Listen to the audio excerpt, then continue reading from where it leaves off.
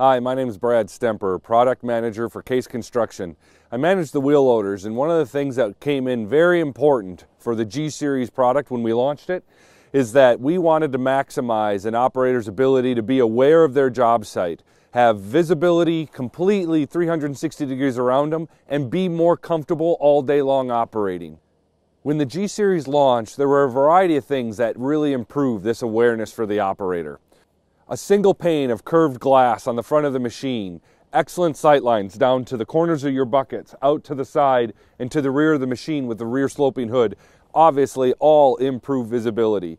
But one of the things that we wanted to concentrate on is your all day operation. We know these machines are running 24 hours a day in some applications, nighttime, early in the morning, and visibility out to the job site is imperative. So I want to highlight the LED light package on this machine that's available for operators to select.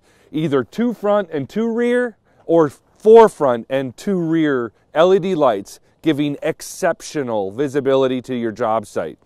Each of those lights can be directionally mounted so they can point to where your application needs them to highlight.